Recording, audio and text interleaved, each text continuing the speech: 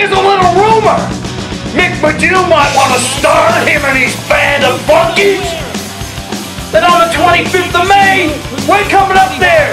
And I'm telling you something, I'm gonna leave no stone unturned. Especially you, Magoo. Those tight pants. What are they?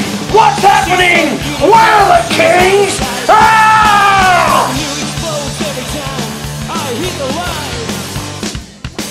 conscience is its own reward. Well, I come and go, I do as I